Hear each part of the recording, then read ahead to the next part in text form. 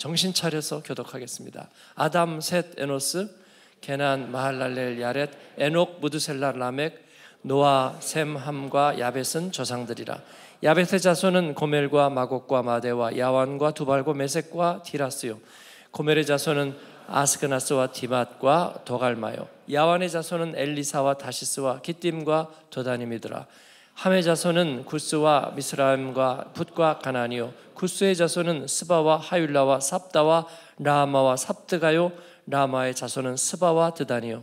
구스가 또 니므론을 낳았으니 세상에서 첫 영걸이며 미스라임은 루딤과 아나밈과 르하빔과 납두힘과 바드루심과 가슬루힘과 갑도림을 낳았으니 블레셋 종족은 가슬루힘에서 나왔으며 가나안은 맏아들 시돈과 헷을 낳고 또 여부수 종족과 아모리 종족과 기르가스 종족과 히위 종족과 알가 종족과 신 종족과 아르와 종족과 스말 종족과 하맛 종족을 낳았더라. 셈의 자손은 엘람과 아수르와 아르박삿과 룻과 아람과 루스와 훌과 게델과 메색이라 아르박삿은 셀라를 낳고 셀라는 에벨을 낳고 에벨은 두 아들을 낳아 하나 이름을 벨렉이라 하였으니 이는 그때 땅이 나뉘었으며 그의 아우의 이름은 욕단이며 욕단이 알무닷과 셀렙과 하살마윗과 예라와 하도람과 우살과 디글라와 에발과 아비마엘과 스바와 오빌과 하윌라와 요밥을 낳았으니 욕단의 자손 이상과 같으니라. 셈 아랍 악삿 셀라 에벨 벨렉 루 수룩 나홀 데라 아브라함 곧 아브라함은 조상들이요. 아멘. 예. 아담에서 노아까지가 10대입니다. 하나님께서 세상을 창조하신 것은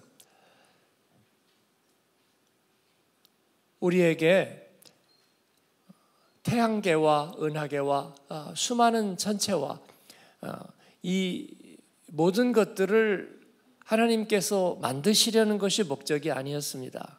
제가 종종 그 말씀을 드립니다. 어, 여러분이 스위스로 휴가를 가시면 어, 자연이 아름답다, 어, 알프스가 아름답다 그런 생각을 하는데 제가 어, 이런 전제를 한번 드려봤어요. 갔는데 사람이 단 한 명도 없다. 그러면 아름다울 것인가? 그럼 어떻게 생각하세요? 어, 물론 사람이 전혀 없는 뭐 북극이나 남극이나 이런 데를 어, 탐험하는 아니면 어, 사람이 전혀 없는 산맥이나 이런 데를 탐험하는 탐험가들이 있습니다. 아무도 없는 바다나 심해나 동굴을 탐험하는 그들은 탐험가입니다. 우리는 예, 그런 곳을 찾아서 휴가를 가지는 않습니다. 예. 사람이 없다면 아름다움은 측량할 길이 없어집니다. 예, 무지개를 보면 가슴이 뛰는 시인이 있어야 되는 것입니다. 그런데 그게 아니라면 그것은 그냥 아무것도 아닙니다. 그래서 C.S. 루이스는 이 자연을 두고 이 멍청한 우주라고 그렇게 얘기했어요. 태양을 섬기고 달을 섬기고 구름을 섬기고 바다를 섬기던 사람들이 있지만 그러나 그 가운데 인격성이 없다면요. 네. 그 가운데 이를 설계하고 운영해내는 그 인격적인 속성이 없다면 그것은 그냥 버려진 우연히 있는 그런 것일 뿐입니다. 그게 만유인력, 중력의 법칙이든지 아니면 그 어떤 것이든지 그것은 그냥 우연의 산물일 뿐입니다. 하나님은 그래서 창조의 중심에 무엇을 두셨습니까? 인격적인 존재를 주셨습니다. 하나님의 형상을 두셨습니다. 저는 인간이 위대하다는 인간 예찬론을 버리지 않습니다. 그게 아니라 하나님께서는 우리와 같은 연약한 존재 안에 하나님의 형상을 두셨습니다. 하나님의 인격성을 주셨습니다. 왜? 그 하나님을 알아볼 수 있기 위해서입니다. 하나님이 하신 일들을 알아볼 수 있는 존재를 만드셨습니다. 여러분, 이것이 창조입니다. 창조는 해와 달과 별을 만든 것이 아니라 우주와 만물을 만든 것이 아니라 그 우주와 만물을 식별하고 그 가운데에서 하나님을 느낄 수 있는 존재를 만드시는 것이 창조의 목적인 줄로 믿습니다. 창조의 목적이에요. 그래서 그 하나님의 창조 안에는 하나님의 얼굴이 나타나 있다는 것이 제가 깨달은 사실입니다. 하나님의 얼굴이 나타나 있습니다. 그리고 그 하나님의 얼굴 안에는 성부, 성자, 성령, 우리의 구원을 온전하게 하실 그 하나님의 성품들이 그 가운데 나타나 있는 거예요. 우리는 그 하나님의 성품을 따라 지음을 받았고 이제 그 하나님의 그 인격 안에 담겨져 있는 하나님의 계획을 우리들의 삶은 이루어 가는 그런 과정입니다. 그렇게 해서 하나님은 우리를 창조하셨고 또 그냥 창조된 것만으로는 우리는 온전해지지 않습니다. 그래서 자녀들이 태어나고 생명이 태어나면 그 생명들은 이제 어떤 과정을 향해서 온전해져야 합니다. 그 온전해지는 과정은 성경은 구원의 과정이라고 말합니다. 우리가 하나님의 형상을 담고 우리가 하나님을 예배하도록 창조되었는데 그러한 우리의 인생은 이제 하나님께 더 온전히 나아가기 위해서 우리가 허물을 벗어야 하고 이 죄의 유혹을 이길 수 있는 새로운 성품을 가져야 합니다. 한 번 더 도약을 해야 되는 것입니다. 이것이 구원입니다. 구원은 우리가 잘못되었기 때문에 건져짐을 받고 죄를 지었기 때문에 우리가 씻음을 받아야 되는 것만이 아니라 우리가 하나님 앞에 온전히 나아가기 위해서는 필연적으로 겪어야 되는 과정이 구원의 과정입니다. 그래서 창조된 존재는 이제 구원을 통해서 하나님의 더 온전한 자녀가 되는 것입니다. 성경은 이것을 얘기하고 있고 이스라엘의 역사는 실패한 역사인가? 왜 하나님의 선택된 백성으로 부르심을 받았는데 그들은 왜 성공하지 못했는가? 그들은 왜 세상의 유혹을 이기지 못했고 또 세상 앞에 무릎을 꿇어야 했는가? 그들은 왜 포로로 잡혀갔는가? 그것은 아마도 구약 시대에 살았던 사람들이라면 가졌던 질문이고 또 하나님을 알게 된 경건한 사람들이라면 가졌던 질문입니다. 이스라엘 사람들이 품었던 질문입니다. 하나님이 우리를 사랑하셨는가? 왜 우리에게 이러한 일들이 생겨나는가? 그리고 이제 그 하나님의 더 긴 안목과 하나님이 하실 일에 대해서 궁금하고 관심을 갖게 되는 것입니다. 그러면서 하나님이 아담으로부터 시작된 그 인류의 역사, 구원의 역사를 가만히 살펴보면서 거기에서 어떤 분명한 원리들이 깨달아진다는 것입니다. 역대기는 아담부터 얘기하고 있지만 예, 보세요. 이 만물과 우주의 창조에 대해서는 하나도 얘기하고 있지 않습니다. 그 가운데 사람에 대해서만 얘기하고 있는 거예요. 그러니까 여러분, 여러분이 독일에 언제부터 오셨습니까? 한국에서 태어나서 떠나서 해외를 돌다가 또 여기 오신 분들도 있는데 몇 년이나 되셨습니까? 그 몇 년 동안 여러분이 있었던 나라, 살았던 곳, 여러분이 했던 일 싹 한번 빼보십시오. 그럼 무엇이 남습니까? 예, 여러분 자신만이 남습니다. 여러분 자신만이. 여러분은 어떤 시기에 내가 어떤 회사, 어떤 일, 어떤 관계, 그런 어떤 옷을 입었던 이야기, 어디를 내가 방문했던 일들을 생각하는데 그런 것들을 다 지워보고 여러분의 모습만을 놓는다면 어떤 모습이 남겠습니까? 지금 오늘 족보는 그와 같은 거예요. 다른 모든 것들이 다 빠져버렸습니다. 그러니까 무엇이 남습니까? 하나님의 인도하심을 갈망하는 연약한 존재, 가 여기에 서 있습니다. 아담으로부터 시작해서 아브라함에 이르기까지. 성경은 이것을 prehistory라고 얘기합니다. 예, 원역사 구원 이전이라고 말하는 거예요. 이제 하나님께서는 하나님의 마음에 두셨던 바로 이 인간을 창조하시고 하나님이 이 인간을 통해서 이루실 진짜 중요한 일을 보이시겠다는 거예요. 하나님께서는 무슨 일을 보이려고 했을까? 우리는 예수님을 통해서 그 하나님이 이루시려고 하신 일이 무엇이었는가를 알게 되었습니다. 예수님 안에는 하나님께서 이루시려는 그 온전한 인간의 모습이 하나님께서 이루시는 온전한 구원의 모습이 예수님 안에는 나타나 있었습니다. 그래서 그 모습을 저는 여섯 개로 나눠서 이번 특세 시간에 나누려고 합니다. 첫 번째는 은혜의 모델입니다. 주님께서 저희에게서 이루시려고 했던 것은 논밭을 잘 갈고 과수원을 잘 갈고 건물을 잘 짓는 존재를 빚으려고 했던 것이 아닙니다.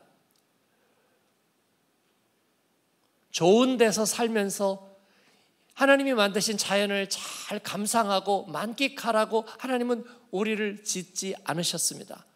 그 가운데 하나님께서 이루시려는 모델이 있었습니다.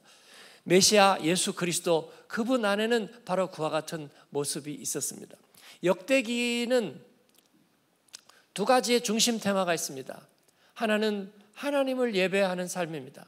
하나님을 예배하는 삶. 그래서 성전이 중요합니다. 건물로서의 성전이 아니라 하나님을 온전히 예배하는 삶에 대하여 역대기는 관심을 가지고 있습니다. 예, 그것만이 하나님이 우리의 인생을 지으신 진정한 목적이라고 믿고 있기 때문입니다. 그리고 또 한 가지 역대기가 가지고 있는 중심은 그 하나님을 온전히 예배하는 삶에 있어서 모델이 필요하다는 것입니다. 역대기의 모델은 다윗과 솔로몬입니다. 솔로몬은 하나님 앞에 온전한 성전을 세웠던 인물로 역대기는 그를 꼽고 있습니다. 솔로몬은 완전한 인간이 아닙니다. 저와 여러분이 그런 것처럼. 그러나 하나님은 그런 불완전한 일을 택해서 하나님의 온전하심을 나타나게 하셨습니다. 할렐루야. 그렇습니다. 이런 사자에게는 할 수가 없는 거예요. 사자의 불완전함을 온전함으로 바꾸는 그런 일들은 일어나지 않습니다. 그는 그에게 주어진 특성대로 살다가 사라질 뿐입니다. 하나님은 우리 인간을 그렇지 않게 구별하셨습니다. 그래서 하나님께서는 우리 가운데 이루실 일을 위해서 모델을 세우십니다. 여기에 계신 분들은 모델입니다. 예. 죄에서 은혜로 옮겨진 모델입니다. 하나님께서 이 세상에 보내셨지만 우연히 그냥 내 던져진 것처럼 이 세상에 태어난 존재에서 목적 있는 인생으로 하나님께서 이제 다시 부르시는 모델입니다. 사람들은 그냥 뒤웅박팔자예요. 어디로 왔다 어디로 가는지 인생은 알 길이 없어요. 기회를 잡으면 그때 놓치지 말아야 돼요. 그러나 하나님께서는 우리에게 어, 다른 길을 알려 주셨습니다. 너희들은 하나님의 목적을 위해서 부르심을 받은 인생이야. 예. 아담아, 내가 어디 있느냐? 하나님께서는 내둔 동산에서 슬퍼하시면서 물어보셨습니다. 네가 왜 여기에서 이러고 있느냐? 하나님께서는 안타깝게 여기셨어요. 그래서 노아에게 이르러서 하나님은 다시 한번 부르시고 또 노아의 아들 샘으로부터 아브라함까지 10대입니다. 아담부터 노아까지 10대, 노아의 아들 샘으로부터 아브라함까지 10대. 거기에서 아브라함을 또 다시 부르시는 것입니다. 저와 여러분을 부르셨습니다. 오늘 장경진 집사를 부르신 것처럼 저와 여러분을 부르셨습니다. 부르시고 우리 인생에서 나는 왜 이렇게 하자가 많을까? 하나님은 그럴 줄 알고 내가 계획하고 있어서 내가 너희를 리콜하고 그리고 다시 너를 온전하게 할 거야. 그래서 우리에게 인생의 목적을 심어주시고 하나님이 계획했던 일들을 우리 안에서 이루어 가시는 거예요. 이것이 역대기가 가지고 있는 중심입니다. 첫 번째는 뭐라고요? 우리가 하나님의 그 인격성을 담은 자로서 그 하나님의 계획을 알고 하나님을 찬양하고 예배하는 삶입니다. 이것이 인간의 가장 존귀한 모습인 줄로 믿습니다. 하나님을 예배하는 것 이것은 인생의 가장 중요한 목적입니다, 여러분. 그리고 두 번째는 여기에는 모델이 필요하다는 것입니다. 모델이 필요하다. 예. 그래서 저와 여러분은 모델입니다. 우리 자녀들은 n분의 1이 아니고요. 예. 세상이 자꾸 이상해지는데 니들이라도 어떻게 잘 되거라. 그게 아니라 그들은 모델입니다. 길잡이고 모델이에요. 하나님께서는 그 일을 하십니다. 이스라엘은 모델입니다. 그들만 선택된 백성으로 세상에서 잘 되라는 것이 아니라 그들은 이 세상에서 모델입니다. 주님의 교회는 모델입니다. 사도행전의 역사를 통해서 우리는 교회가 여기저기 세워졌습니다. 언제 온 세상이 복음화가 되나? 아니요, 그들은 모델입니다. 주님 앞에서 은혜의 모델, 오늘은 그 은혜의 모델에 대해서 얘기하는데 역대기가 얘기하고 있는 가장 대표적인 모델은 다윗입니다. 왜 다윗이 역대기가 생각하고 있는 가장 귀한 모델일까? 여러 가지 의미가 있는 줄 압니다. 그런데 그 중에 하나는 다윗에게 하나님께서 자신의 은혜를 가장 잘 부으셨기 때문에 그렇습니다. 다윗은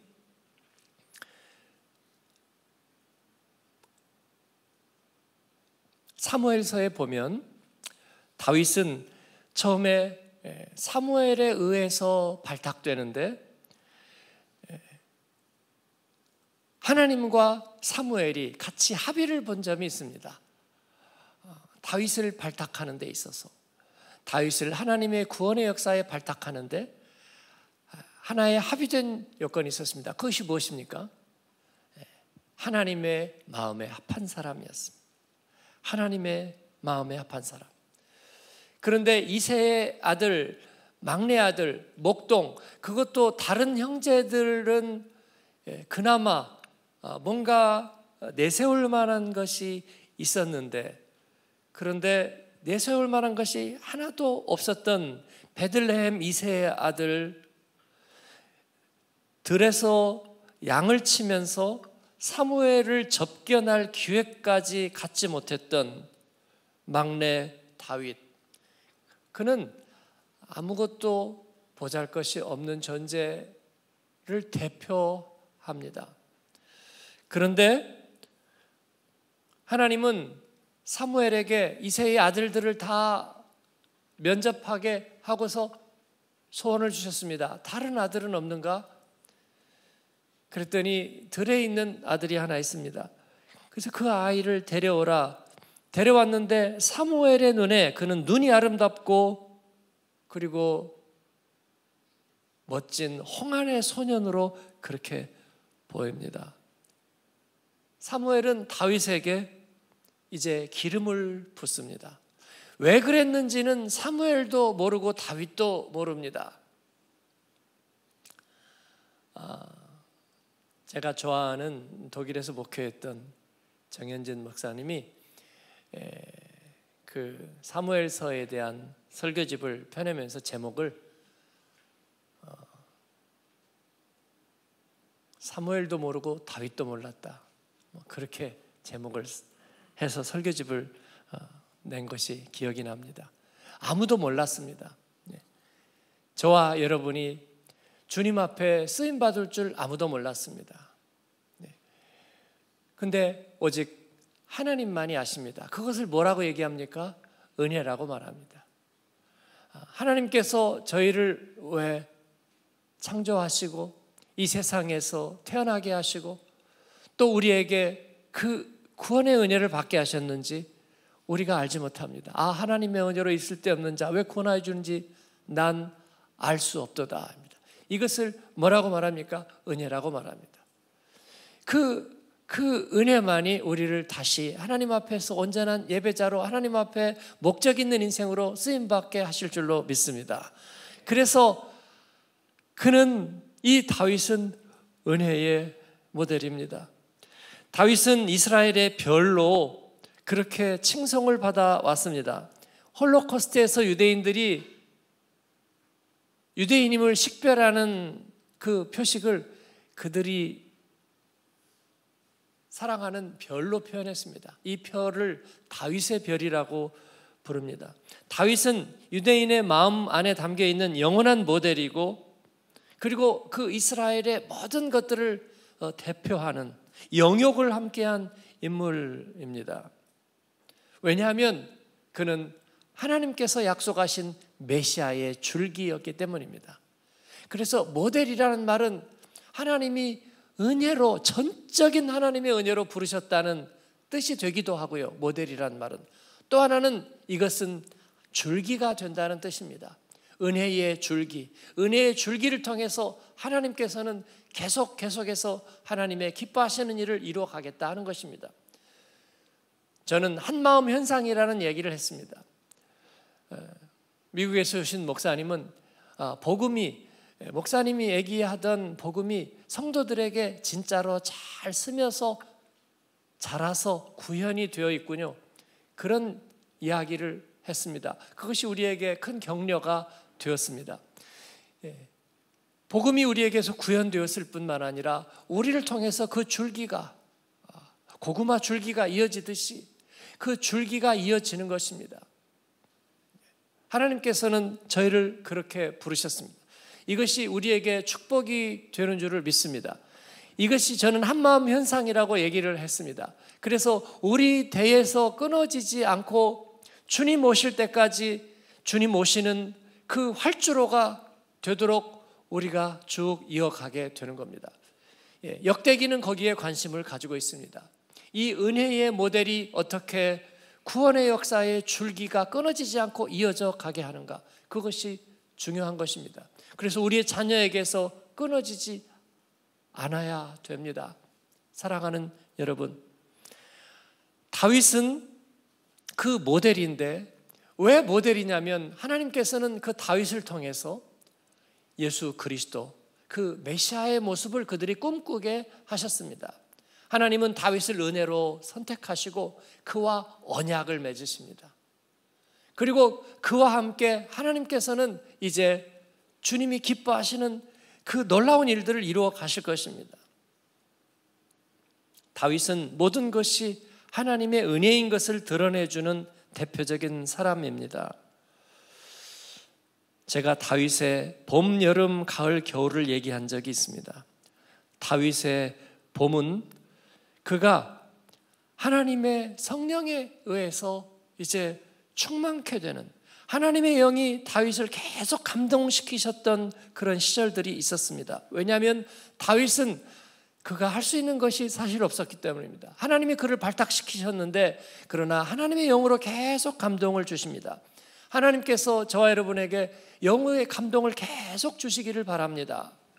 어떻게 아담으로부터 노아까지 노아가 구원의 방주를 짓기까지 하나님을 떠난 인간이 전적으로 타락해버린 인간이 어떻게 그렇게 갈 수 있었을까? 하나님은 그들을 놓지 않고 계속해서 성령의 감동으로 두드리고 계시는 것이에요. 그는 음악가가 되어서 이제 예, 사울 왕이 이 디프레션에 빠지고 우울증에 빠지고 또 악신에게 사로잡혀서 고통받고 있을 때에 이 수금을 타고 그를 위로하고 또 그를 치유하는 자로 쓰임 받고 있습니다. 그리고 그는 이제 골리앗을 물리치는 어, 영웅 다윗으로 또 다시 한 단계를 올라서게 됩니다. 이것이 다윗의 봄과 여름이었습니다. 다윗의 가을은 위대한 통치자가 되는 것입니다. 이스라엘 역사에 있어서 가장 위대한 시대를 여는 왕이 되는 이것은 예, 다윗의 봄, 여름, 가을이라고 얘기할 수 있지만 예, 그것으로 다윗이 모델이 되는 것은 아니었습니다. 사실은 그때마다 다윗에게는 아킬레스건이 있었습니다.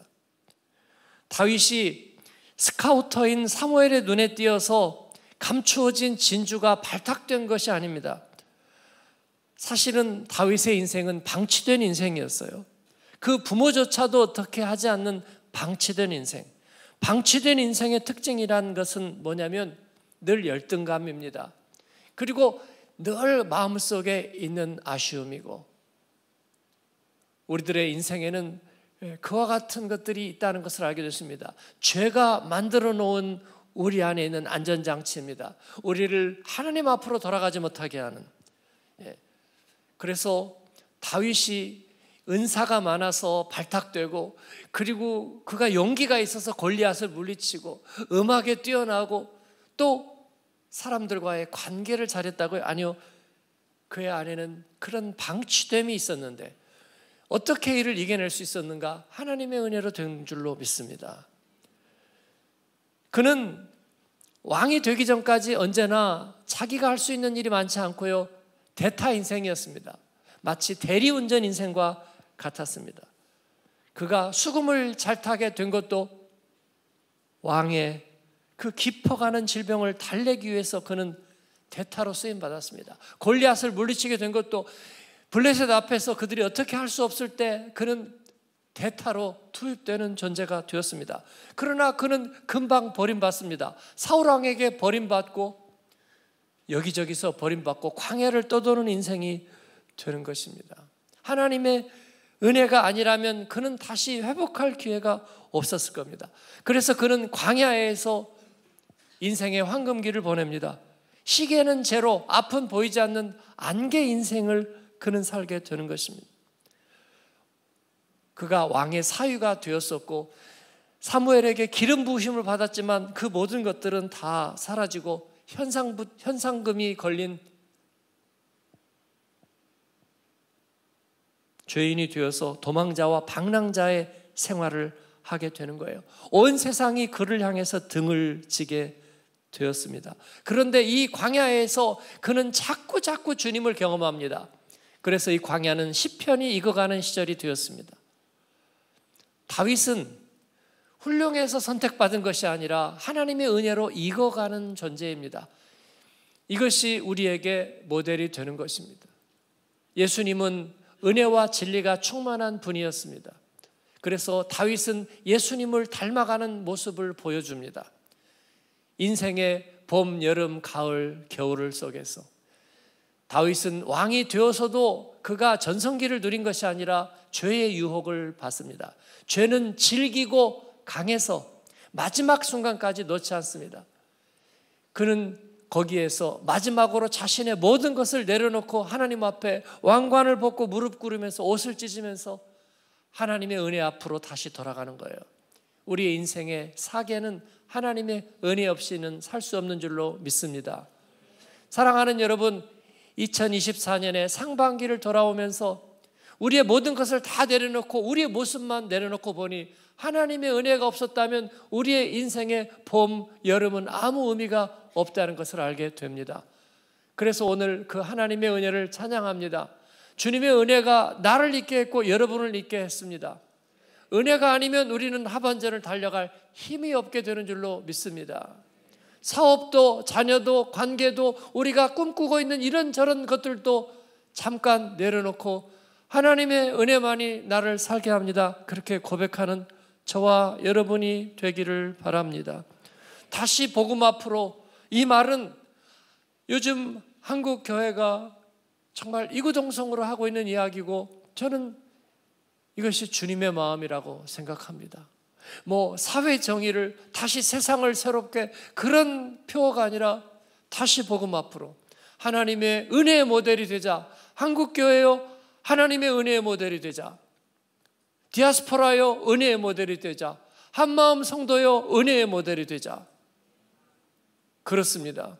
이것이 주님께서 저희를 다시 세우시는 말씀인 줄로 믿습니다.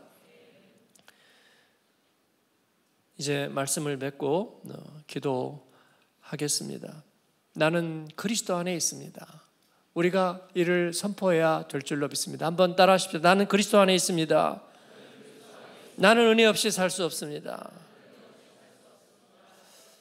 이 은혜의 모델을 되시는 여러분 되기를 축원합니다. 아멘. 우리 응답 찬양 우리 성경민 목사의 은혜에 함께 찬양하고 예, 기도했으면 좋겠습니다.